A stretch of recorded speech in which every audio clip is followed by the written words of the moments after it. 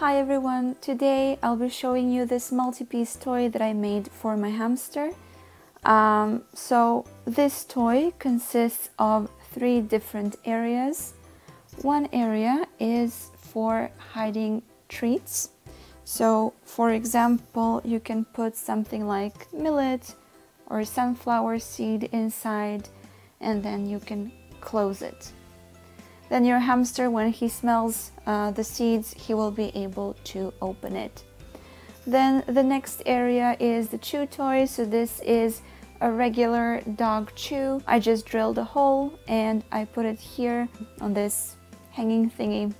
This type of chew toy is great for maintaining your hamster's teeth. It's completely safe um, and it's pretty cheap.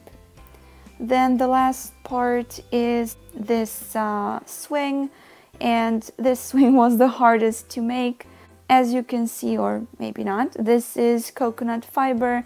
Um, I found it in a pet store. I think it was supposed to be a bird nest but it's completely safe because it's coconut fiber. So if your hamster ingests some accidentally um, it wouldn't be a big deal. This here is jute. I'm pretty sure that's how it's pronounced um, and I decided to hang the whole swing on these little metal thingies. I had them from when, um, when my hobby was making jewelry. Now, the most difficult part was actually to attach these two pieces because I had to keep them straight while drilling the holes, so that was a little bit tough to make. Now I will show you from up close how these things look like. So first you can see, oh, okay, so you can see here, this opens up like it can go all the way around and your hamster can move it pretty easily. Uh, then this is attached like this.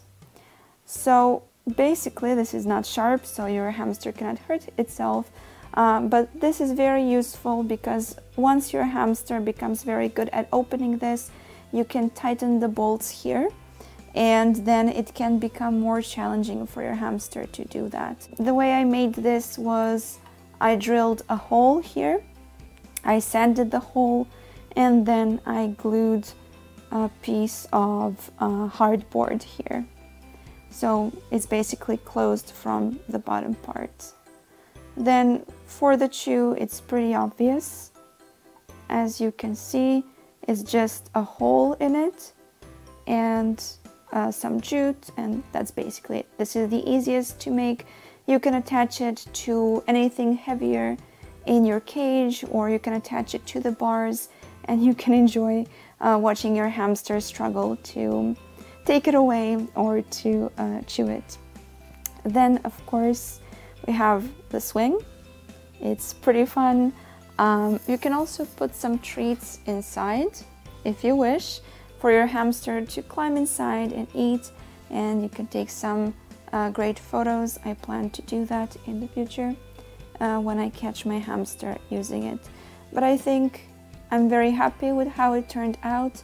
I might change some things later, but for now, um, this is how it will look like. I will be putting this toy in the cage today and I'm really looking forward to seeing how my hamster will use it. Um, it should be pretty fun. If you have any questions or um, any suggestions about things I can add to this toy, uh, please let me know in the comments.